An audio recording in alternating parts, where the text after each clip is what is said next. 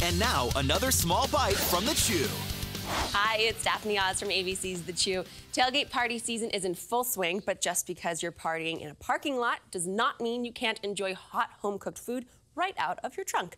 Here's a really easy way to transform a regular cooler into a hot box with supplies you already have at home. It's super simple. All you do is line each side of your cooler with cardboard wrapped in heavy duty aluminum foil. Then wrap bricks in aluminum foil too and heat those in a 500 degree oven. Get your oven mitt for this. Lay these along the bottom of your cooler and then place another piece of foil wrapped cardboard right on top. That creates your layer. Then you add in your food packed in heat resistant containers, all those goodies, and cover those, make sure they fit, cover those with another piece of cardboard that fits nice and snug. Close the lid and it will stay piping hot until you're ready to serve. Enjoy the game. The Chew, weekdays on ABC.